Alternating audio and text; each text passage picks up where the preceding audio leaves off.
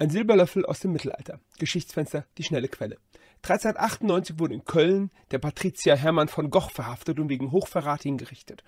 Das, was er bei der Verhaftung bei sich trug, liegt heute noch im Kölner Stadtmuseum und dabei ist dieser Gegenstand. Und wenn ich das mal aufmache, dann befindet sich darin ein ganz, ganz wundervoller Klapplöffel mit einer ausziehbaren Stiel. Hier sieht man einen kleinen vergoldeten Löwenkopf, der das Ganze zusammenhält.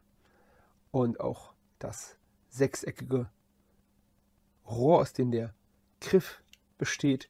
Und hier eine sehr, sehr schöne Verzierung. Ein ganz prächtiger Löffel. Solche Löffel gibt es noch ein paar andere Modelle. Ähm, gehört nicht mal einem Hochadligen, einem König, einem Grafen. Gehört einem Bürger aus Köln. Kein armer Bürger natürlich, ist schon etwas für die Hochgestellten, aber ein sehr, sehr schönes Beispiel für Esskultur im Mittelalter.